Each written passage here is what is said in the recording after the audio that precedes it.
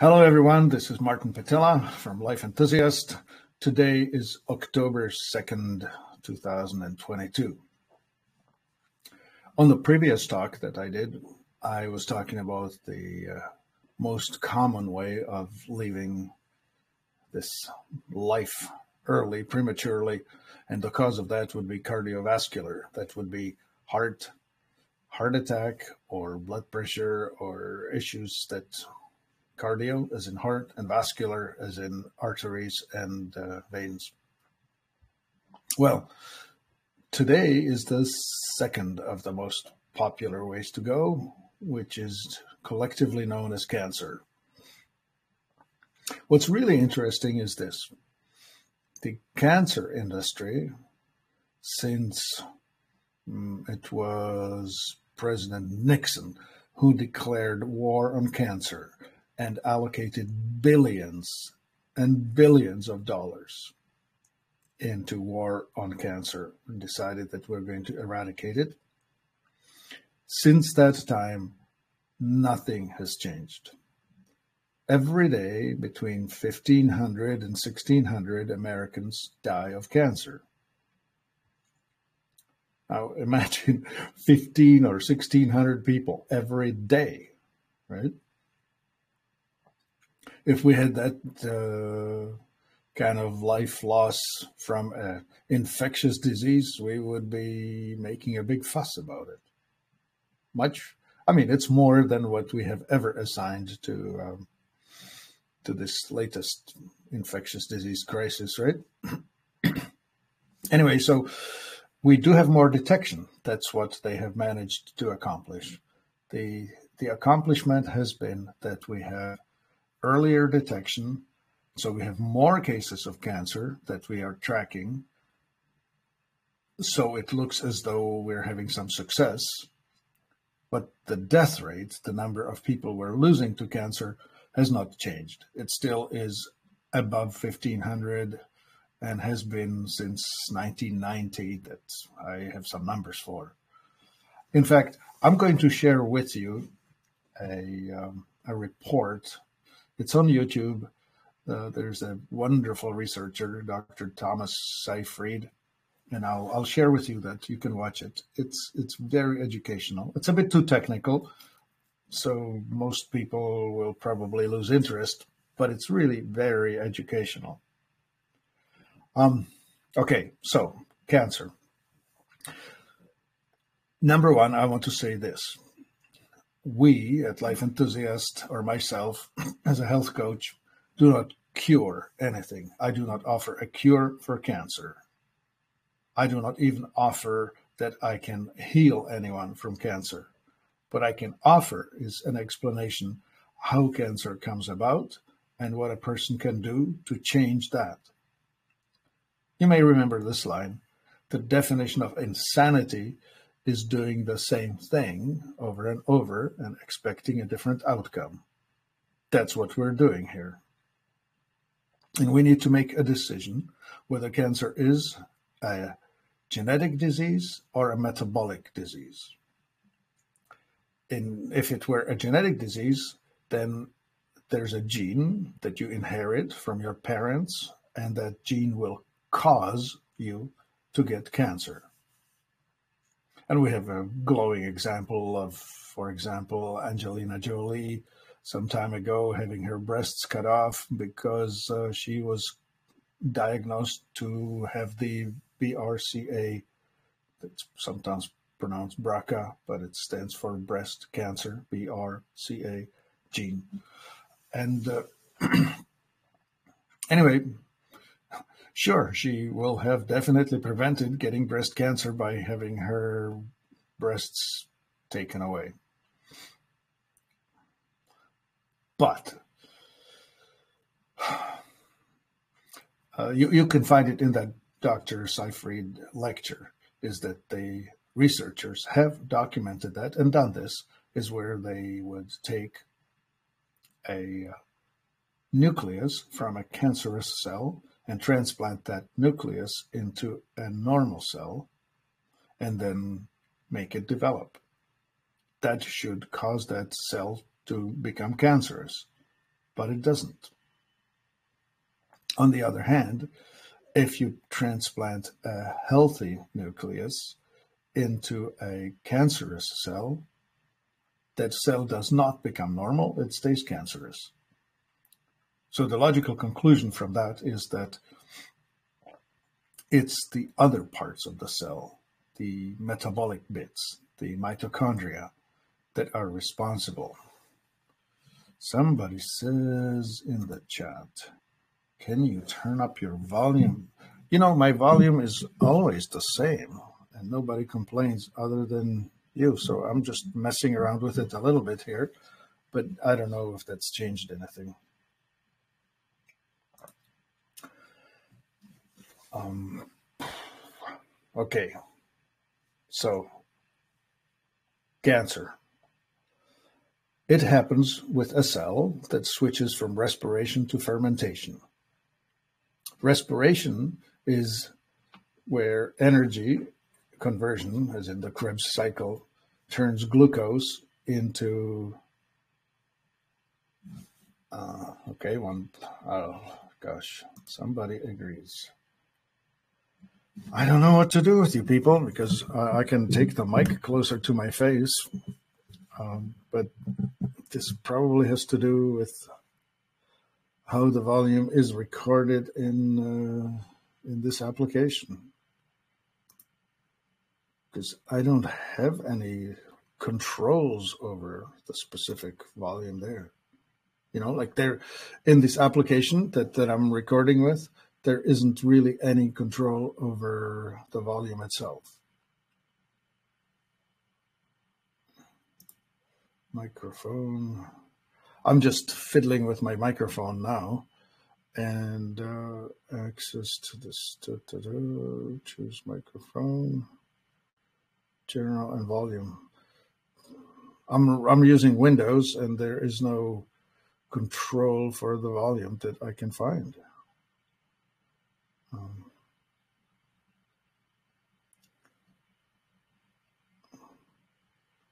nope, nothing.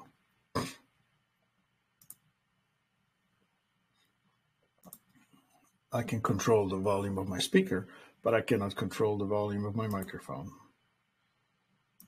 What to do?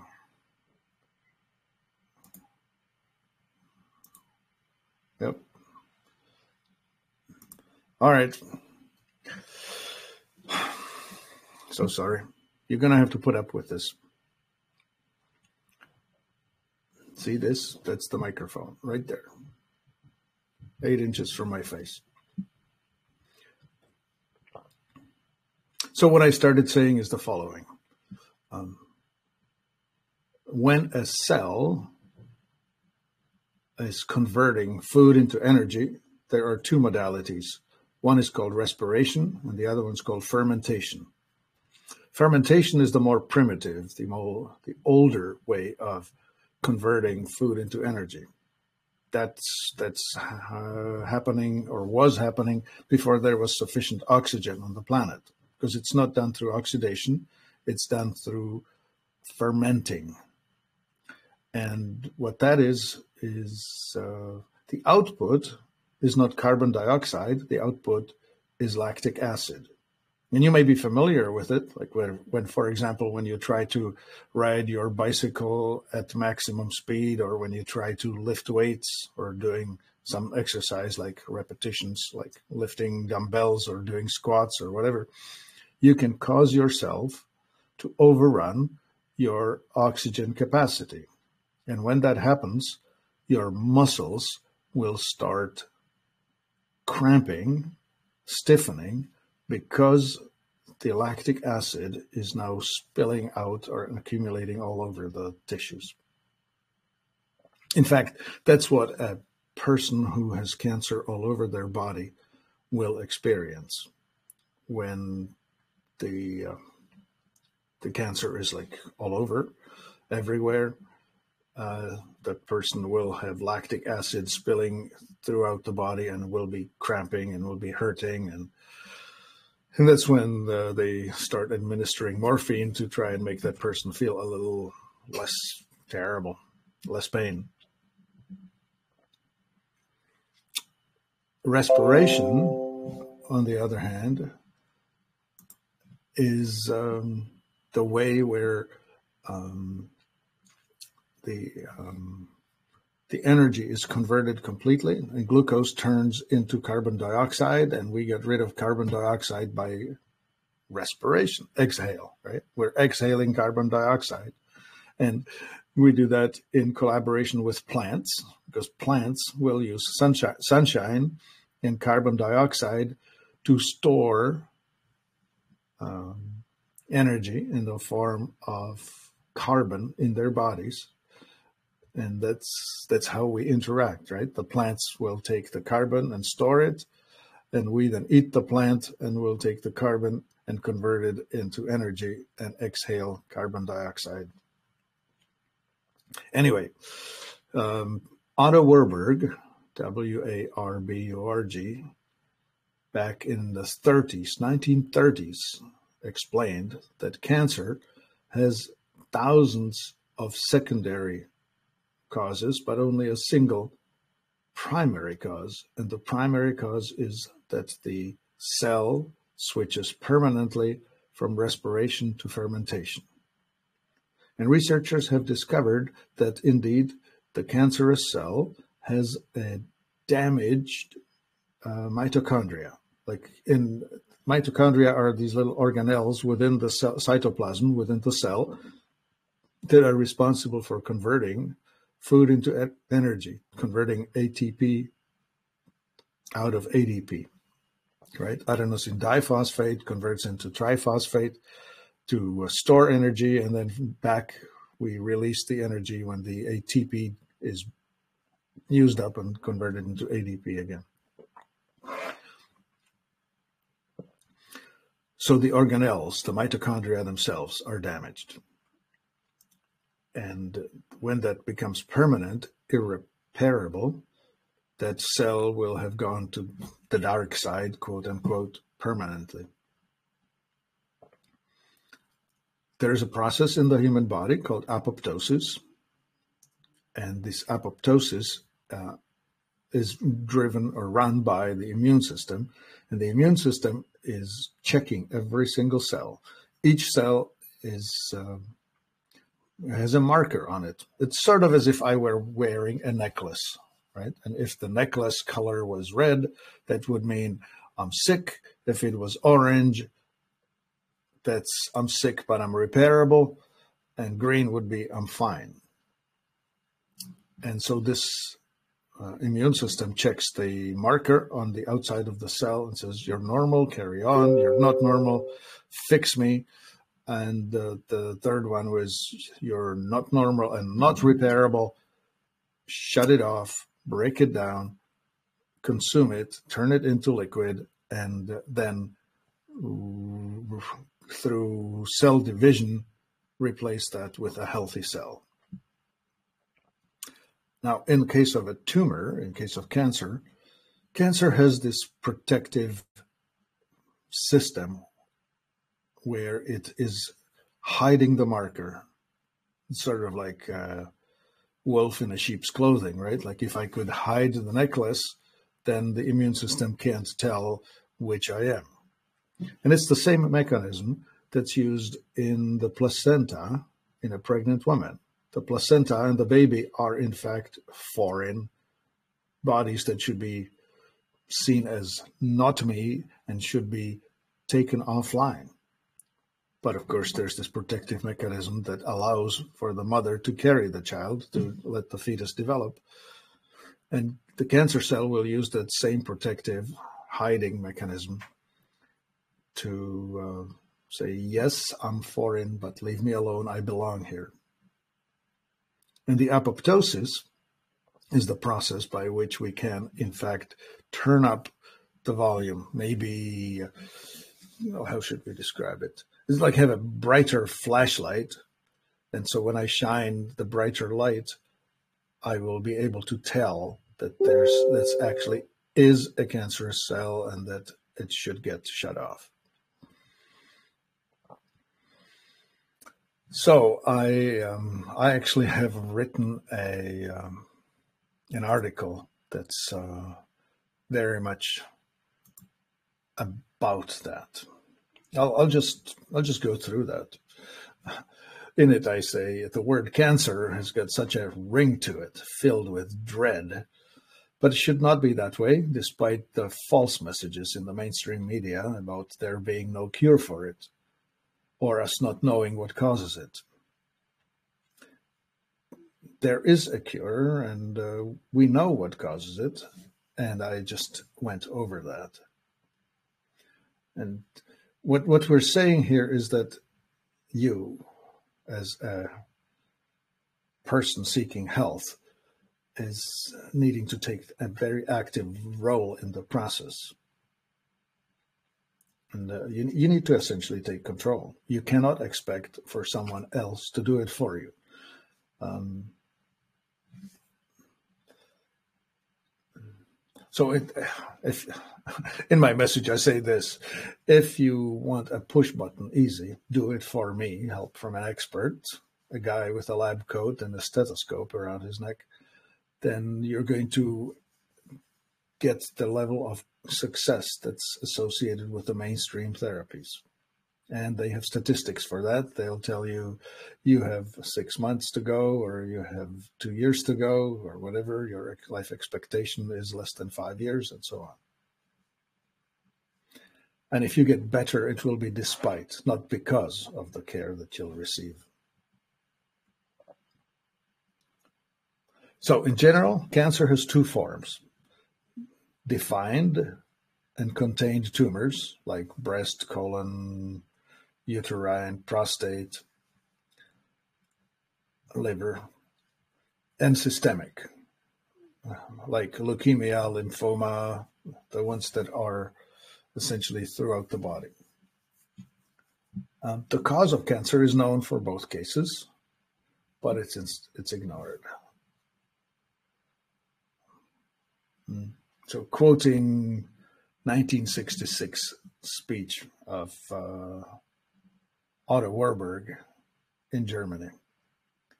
There are primary and secondary causes of disease. For example, the primary cause of the plague is the plague bacillus, but secondary cause of the plague is filth, rats, and the fleas that transfer the plague bacillus from a rat to the man. By the primary cause of a disease, I mean one that is found in every case of the disease. And cancer, above all other diseases, has countless secondary causes. Almost anything can cause cancer. But even for cancer, there's only one primary cause. The primary cause of cancer is the replacement of the respiration of oxygen or oxidation of sugar, it should be oxidation of glucose, in normal body cells by, by fermentation of the glucose. And I can post you the link to the whole lecture if you want to uh, if you want to go and spend the time on that. So the primary problem, absence of oxygen in the body fluids. So the cells will switch from respiration to fermentation and the cancer will grow very much like a yeast that is fermenting a jug of wine. The cancer is in the whole body, but it forms visible tumors only at some sites, typically the weakest links in the physiology. Um, so now what causes the deficit in oxygenation? It's the pH balance of the fluids. The oxygen carrying capacity is inversely proportional to the acidity of the fluids. Now, this is for the uh, solid tumors like the um, like the liver or breast or uterine and so on. What's interesting is that the uh, over acidity lowers the oxygen level. That's the acidic fluids.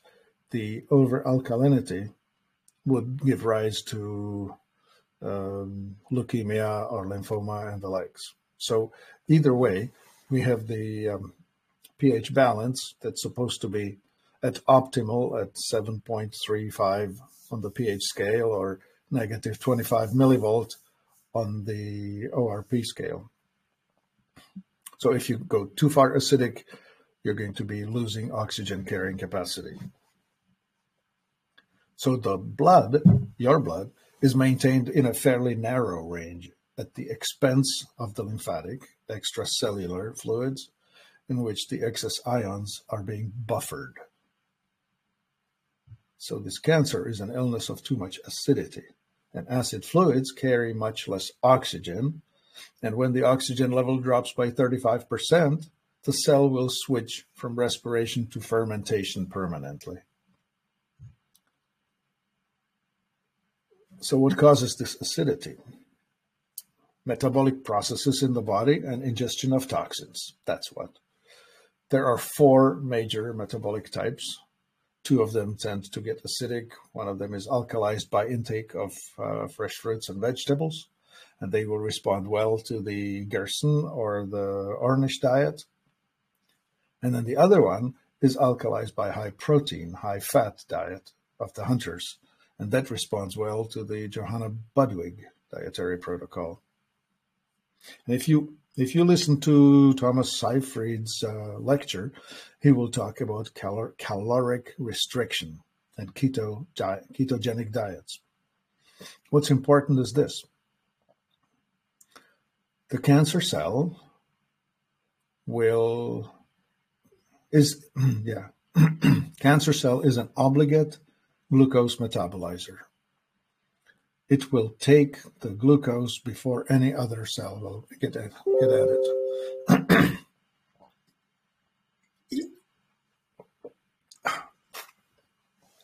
this means that any circulating glucose will feed the cancer cell first.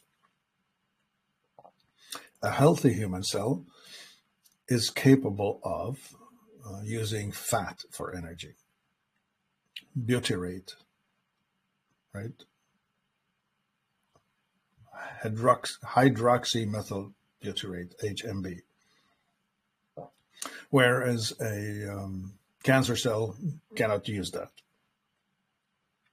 So when you do a cal- caloric restriction, which means that you will um, eat a salad with a piece of meat, that's how you will be able to survive but the cancer cell will suffer or will be reduced in its ability to feed itself and will just simply reduce, wither away.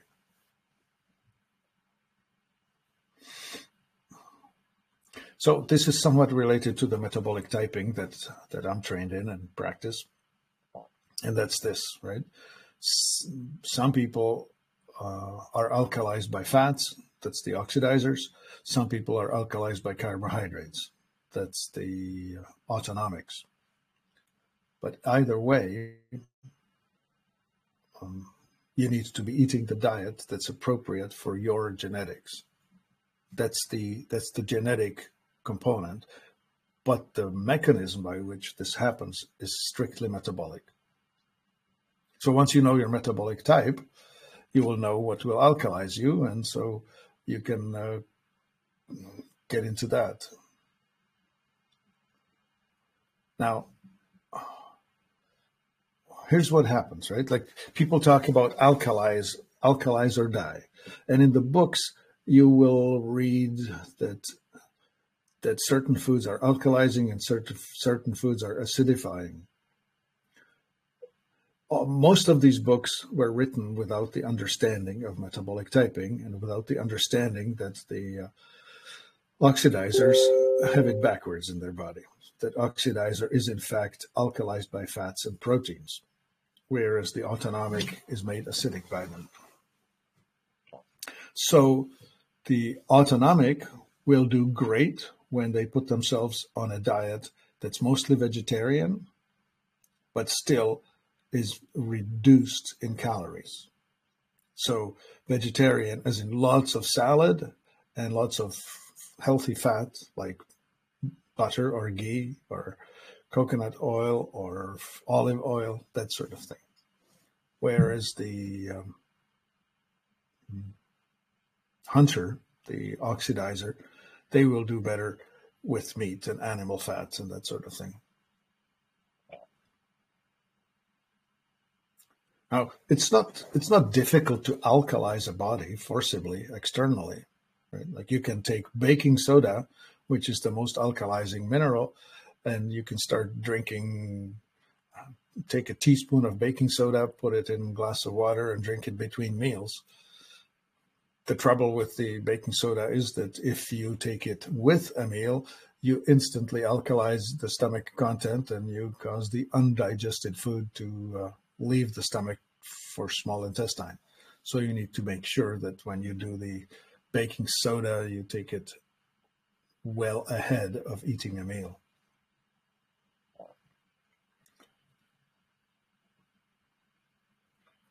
There's one other thing that uh, is very anti-cancer, which is iodine. Iodine is helping with mucosal barriers and it's helping the cells with metabolic functions. This is really important, right? The metabolic rates and the Krebs cycle, which is the uh, you can you can do some research into that. Krebs cycle is the steps through which the ATP is made out of the ADP and how the energy circulates through the body. And iodine is involved in controlling this process. So you need to have a sufficient amount of iodine for that. So to, to uh, explain it or to summarize it this way, cancer exists in an oxygen deprived terrain. Oxygen carrying capacity decreases as fluids become acidic. The genetic disruption is amplified in cells that are compromised by stored toxins. This should be emphasized that plastics or fire retardants or gassing off from dashboards in your new automobile or and especially heavy metals like lead, mercury, cadmium, and the likes. They are definitely contributing to the genetic disruption. So you can push more oxygen into the fluids, but the fluids won't carry it. The, the, the pushing, well, you can do it with um, oxygen, ozone, or hydrogen peroxide, right? Like you can put drops of hydrogen peroxide directly in the water you drink, or you can do ingest in injections, like you can do intravenous treatments, and these are done. Uh, in naturopathic offices, you can go in and have either ozone treatment or hydrogen peroxide treatment directly on your blood. They will just uh, take some of the blood out of the body, treat it, and push it back in. Another popular one is oxychlor, known as MMS, because that releases a lot of oxidation into the body. And we have uh, another one called Fulton uh, Mix. It's uh, offered at Life Enthusiast as amazing O. That thing is also pushing large amounts of oxygen into circulation. And you can also use hyperbaric treatment, right? Like you can get into a hyperbaric chamber that will increase the pressure with which you're pushing oxygen in. But the body fluids will not carry it. So we can push the pH toward alkalinity with minerals, right? Like we can use baking soda, or you may have heard of cesium chloride, or you can use uh, mineralization like calcium, magnesium. I mentioned uh, a while ago that the um, body fluid is becoming more acidic and it's becoming buffered or it's getting buffered with minerals. And the buffering mineral that is stored uh, or that is used is the calcium that is stored in the bones. And you may have seen or heard that uh, people with advancing or advanced stages of cancer will start dissolving their bones. Their ribs will start dissolving or their hips and so on, right? And this is actually common to other problems, right? When when your acidity is rising, the stored calcium is being taken out of the bones and put into circulation. So the osteopenia or osteoporosis is a, a reflection of the acidity of the body and and the taking off the mineral and putting it into circulation. You're not any lighter. The the calcium is still in your body, it's circulating in the fluids, buffering the toxins. So, uh, the acidifying process, we can uh, certainly switch it by understanding metabolic typing and switch the meals in such way that the body is becoming more alkalized. So, this is important to note. If you're an oxidizer, the food that will alkalize you most is fat. If you are an autonomic, the food that will alkalize you most is carbohydrate. So you will have a challenge of managing that because uh, mm, you also, at the same time, want to create low caloric or restriction of calories so that the body is forced to using fat as the source of energy.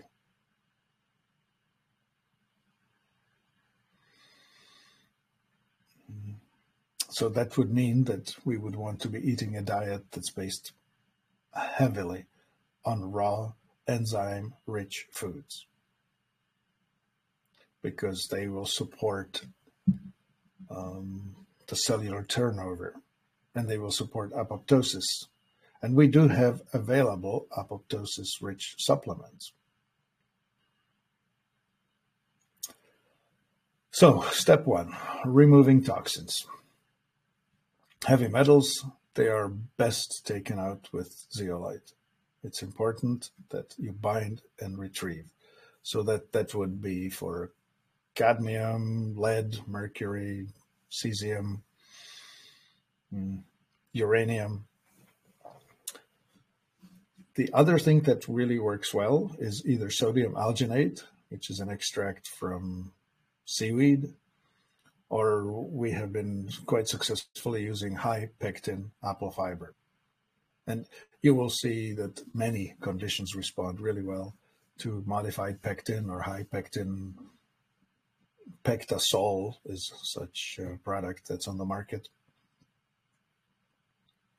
The other thing that's been known to help a lot with this detoxification is glutathione. Glutathione is the means by which your liver is neutralizing toxic things or toxins out of the body. The trouble with glutathione is that ingesting it straight is uh, somewhat challenging because the digestive system will take it apart. When it's ingested in the liposomal delivery system, then that, that's quite workable. And we do have liposomal glutathione available. Or you can also deliver it rectally. There's a phenomenal product that we have. It's called Xenoplex, which is a suppository, and that's uh, that's a combination of caffeine and the glutathione. And when you deliver that, it's absorbed into the blood, quickly heading into the liver and causing the liver detox. Uh, the natural way of doing this is known as the coffee enema. The coffee enema is uh, kind of different. You take uh, lightly roasted coffee, preferably organic, and you boil it. You boil it like for 15, 20 minutes. And when then then you let it come to a uh, room temperature or body temperature, which is around 100 degrees. And then you push it rectally as a retention enema you would want to get at least pint a pint, but if you have it done in a clinical setting, they'll probably try and use a whole quart of it, and then you well hold it as long as possible. Uh, we can talk about that some other time, but anyway, so you push this fluid internally, and once that's in your colon, it gets absorbed and pushed directly into the liver, and it causes the liver to detoxify, to dump its toxins. So, for example, in the Gerson clinics, they would be doing at least two coffee enemas every day. Mm. So, enzymes, yeah, we definitely need enzymes, digestive enzymes and pancreatic enzymes, systemic enzymes. Well, all of the enzymes, enzymes are helping to break apart things food, organic things. So a digestive enzyme will help to break apart break apart things that you're ingesting, right? Amylase will break apart starch. Protease will break apart um, proteins. Lipase will do that to fats. The most popular ones are bromelain from uh, pineapple, papain from papaya, but then the other ones I mentioned as well. And uh, but there are there are others, right? There are enzymes that will digest uh, lactose and gal- galactose and uh, and fiber and so on. And then there are enzymes that are known as uh, systemic. So, for example, serrapeptase is the fibrinogenic or fibrinol, no, pardon me, I should say fibrinolytic lysis lytic that, that talks about uh, taking things apart. So, fibrinolytic enzyme will dissolve fibrin or fibrin, which is uh, the scar tissue in the body. And of course, every tumor is covering itself with a, um, it's sort of like a skin, right? It's a, it's a, in, in a containment area. And uh, when you increase intake of fibrinolytic enzymes, you're going to be taking apart the, um, the covering. And of course, pushing pancreatic enzymes is very useful because that helps with um, digestion and or decomposition of all tissues that are supposed to be decomposed. We are trying to you know, break apart all of the tumors that are within the body.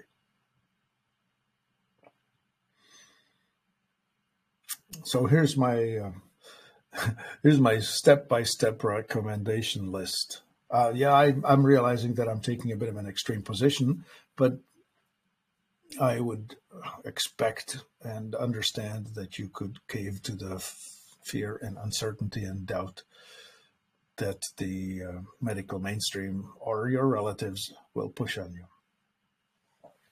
But here goes. One, surgery Mm, okay, it's okay, but in the long run, you cannot cut out something that's a systemic problem.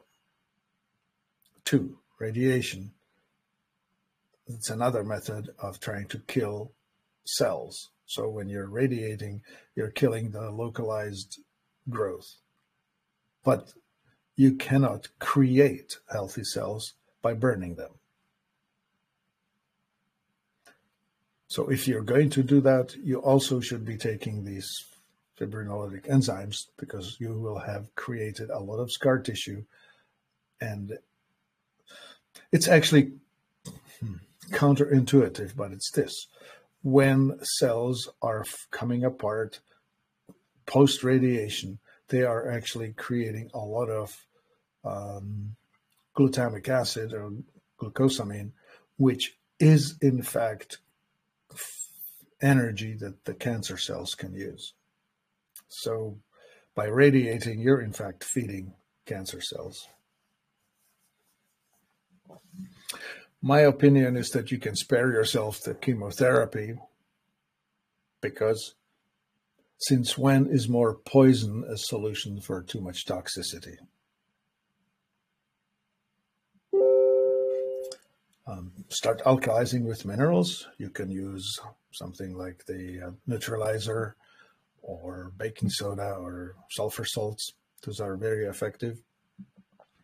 Definitely add iodine because it will upregulate your uh, ability to uh, correctly metabolize, right? Support your thyroid, support your uh, metabolic Krebs cycle in, in the cells definitely find out your metabolic type so that you know whether you should be on a strictly vegetarian diet or whether you should be on a uh, ketogenic hunter diet.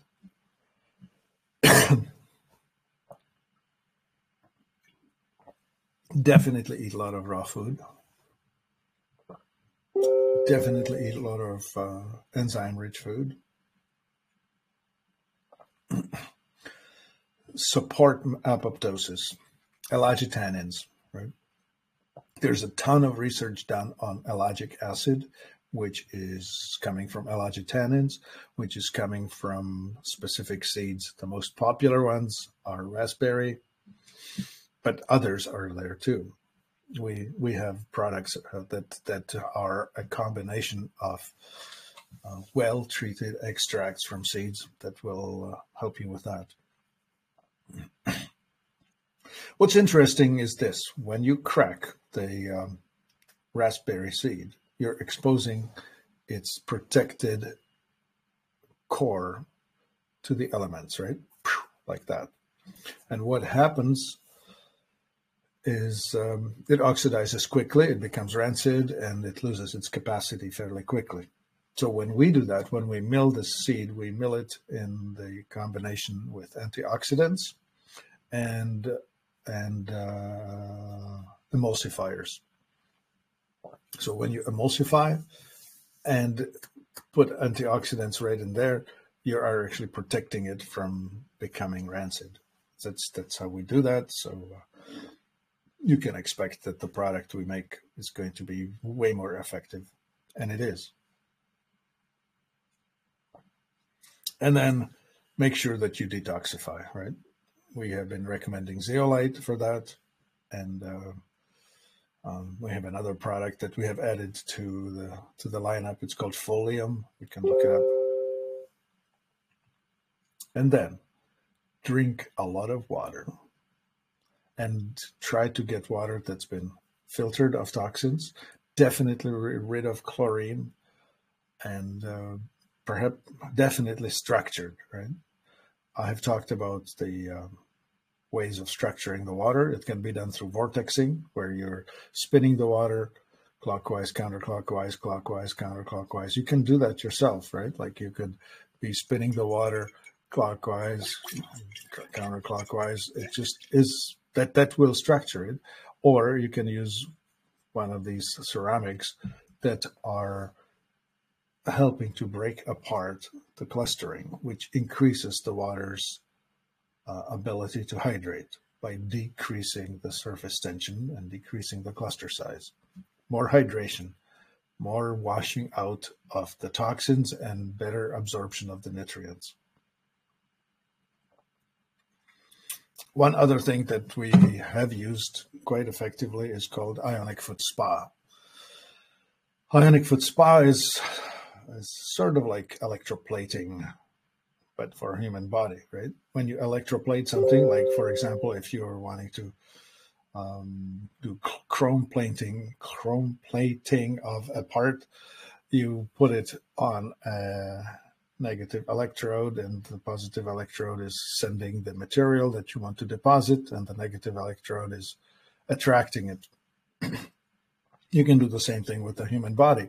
You put your feet in water that's got some salt in it, and uh, you turn on the direct current, and whatever electropositive stuff is in your feet is going to get pulled through the skin out into the bath, decreasing the toxicity of your lymphatic fluid.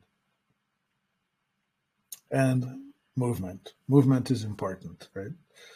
one of the banes of human existence is stagnation.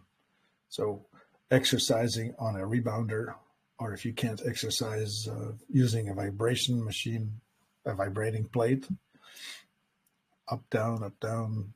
What we need is we need the lymphatic movement. So, of course, lymphatic massage would also help. But we need movement in order for the fluids to not stagnate.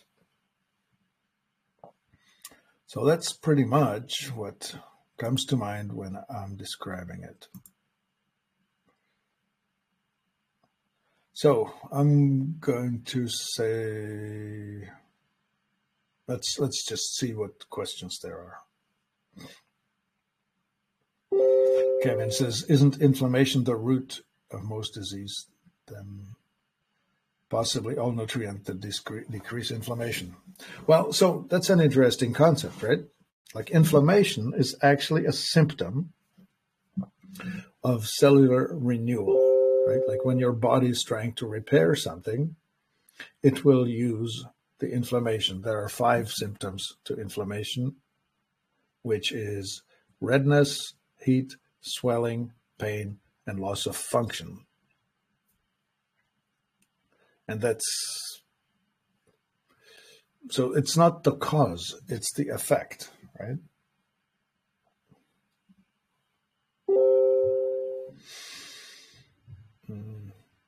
So I wouldn't say that that's the root cause of anything. It's a it's an important symptoms of everything.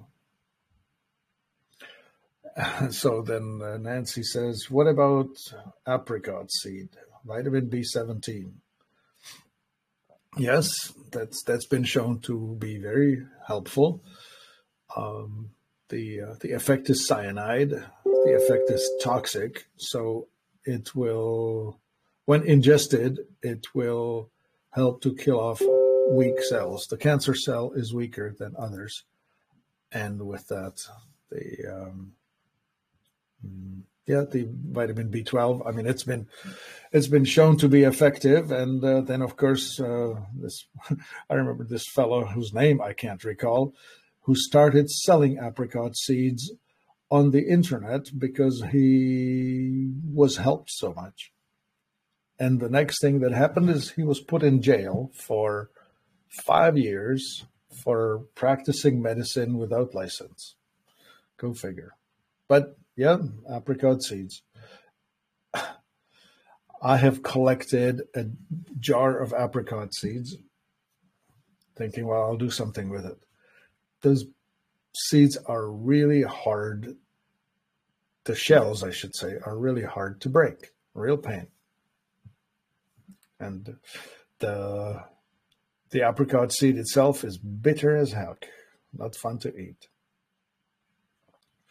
All right, so then question is what's the best diet for the acidic autonomic body? Well, if you're an autonomic dominant, then you would be alkalized by starches and you'd be acidified by fats and proteins. So you would want to be on a vegetarian diet that's got some fat in it and the amount of protein is somewhat low. That's that's how you do it. I used the amazing soak in a bath. You can really smell the chlorine in the bath water. Does that affect how the soak works? Actually, what you are smelling is the hypochlorous acid that is part of this product. You see, here's the interesting bit about the uh, about the amazing soak it is releasing hypochlorous acid, which is the same acid that your white blood cell would release in order to try and neutralize an invading uh, organism in your body. That's what it does. And uh, the hypochlorous acid will release the extra oxygen, and that's how the ROS, reactive oxygen species, is released into circulation. So yeah, that's exactly how it's working. It will smell chlorine like. Laurie's writing.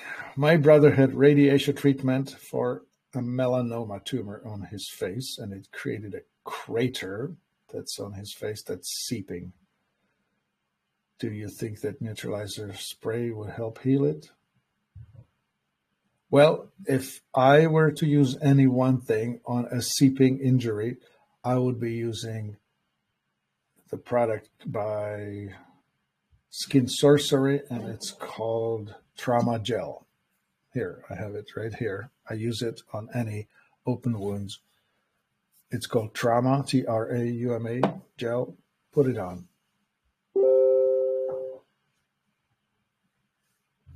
Uh, would ivermectin? Hmm.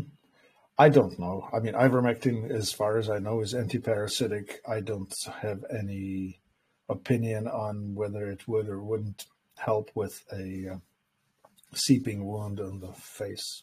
I, I don't think directly, no. And another question Does Amazing O diluted in water taken preventively? A good idea. Well, so the Amazing O, I have used it swished around my mouth to deal with bacteria, especially periodontal or bad breath or whatever, swished around the mouth, I would put a couple of drops in a teaspoon of water and just do it like that. When you swallow it, it's actually killing off microbes. So I don't think it's smart to be using it all the time. That's just not not a good idea. Like if you want to kill a specific infection, yes, but otherwise not. Likewise, you can inhale it, right?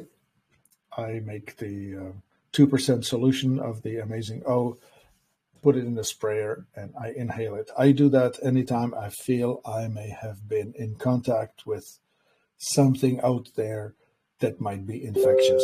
It works rather well. And inhalation through either a nebulizer or a uh, diffuser, probably or even a humidifier. That might be useful. But again, um, I don't think that it's wise to be killing off an infection if you don't have one, right? Like using this preventively is not really a smart idea. I would only use it when needed.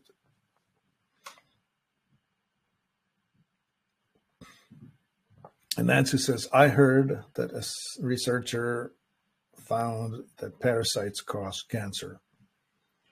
Um, maybe. What I would say is that people who were taking ivermectin have found that their cancer uh, symptoms were reduced or that they were getting less trouble with it, as in like healing from cancer from taking ivermectin. So that would follow and support that case. I would say that a uh, body attacked by parasites is weaker. I don't know which which one is the chicken and the egg here. Is it that a weak body is attacked by can uh, by parasites, or is it that parasites weaken the body and make it even weaker weaker still? So removing parasites in all cases, I'm sure, is an intelligent thing to do. Hmm. Patricia's asking, how would one determine pH? Some people think that uh, checking the urine is a good idea. The urine is is a disposal, right? So when you check the pH of your urine, you're watching what's being dumped. So if the urine is alkaline, you're dumping alkaline minerals. If the urine is acidic, you're dumping acidic minerals. It only tells you what your body's getting rid of. I would say that the best way to do this is to use a, a pH strip and check your saliva just right there under the tongue. First thing in the morning, before you brush your teeth and before you start thinking about food. Because I tell you, all you have to do, and you can demonstrate it to yourself with your pH strip, is start thinking about lemons, or start thinking about um, oh just about any food. And the ph of your saliva will change just in reflection to what you're thinking about. Hm is ozone therapy good for acidic autonomic body?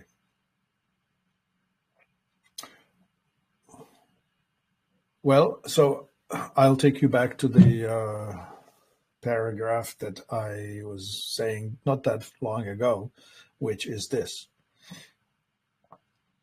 You can push oxygen into the body, but the fluids will not carry it until you correct the pH balance itself. So you would be better off focusing on correcting your pH balance through the nutrition and only then pushing the oxygen. It will be much more effective. You can do ozone therapy. Ozone therapy typically is done either by uh, ozonating your blood or by insufflation, which would mean that you will be inserting a uh, plastic hose that's bubbling the uh, ozone rectally. Women can do it vaginally. You definitely don't want to inhale it because it's going to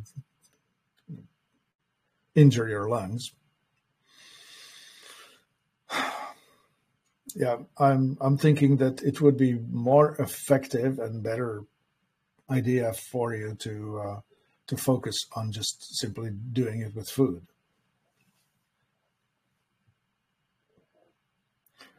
Um, Victoria, what about fibroid tumor? Well, fibroid tumor is not cancerous; it's fibroid, and we do have fibrinolytic enzymes. Um, we have on our website xylitol and we have Vitalzyme. They both will work on that. You need to go for a fairly high dose. Like, for example, with the xylitol, they say on the bottle, take three a day for maintenance. I would go for finding the activation dose. There's an article on the website. If you search on activation dose, you'll find it. And uh, it varies some people need nine, some people need 12, even even 18 a day. Anyway, once you reach the activation dose, you sustain that for about six weeks, and most everything that's um, of fibroid sort will get dissolved. I remember a fun story. A woman asked to do this and called back after three months and said, Okay, the fibroid tumor is gone, but you know what? All of my stretch marks are gone too. And that's the interesting part, right? Like if you look at stretch mark, it's a scar tissue from pulling apart of the uh, underlying structures in the skin. So when you dissolve the fibrosis or the fibroid, the scar tissue, even the stretch marks are gone.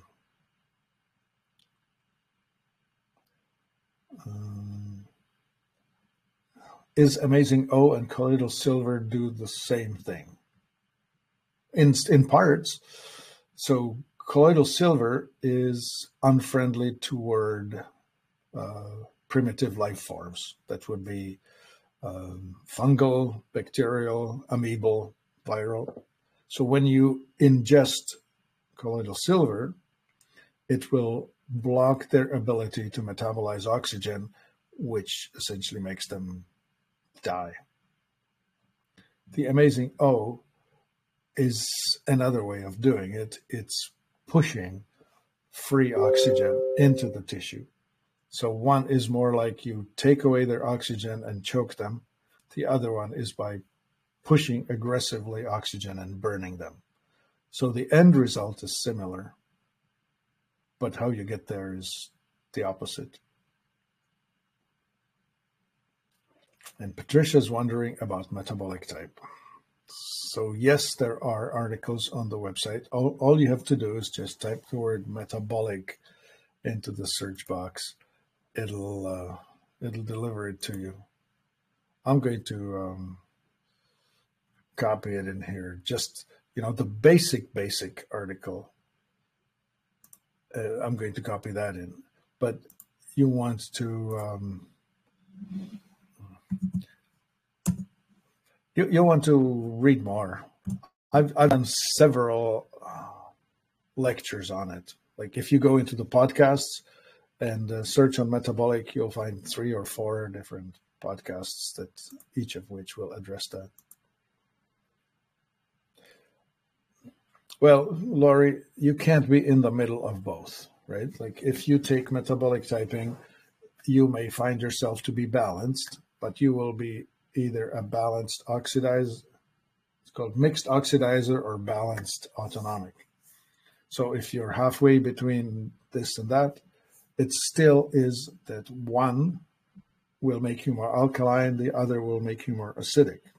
So the experiment would be this do yourself a glucose challenge, which means, for example, a bowl of uh, porridge with a glass of orange juice that's just straight carb, right? Now, if that takes you closer to acidity, which would be irritation or impatience or anxiety, that's acidity, then you would know that glucose makes you more acidic. And then you can do the opposite challenge, which is take a spoonful of coconut oil and just lick it right off the spoon. And if that makes you more alkaline, which is more peaceful, more lethargic, more sleepy, less irritable, then now you would know you're an oxidizer. Fats are calming and carbs, carbs are stimulating. Or the other way around. You need to decide which you are. You cannot be both.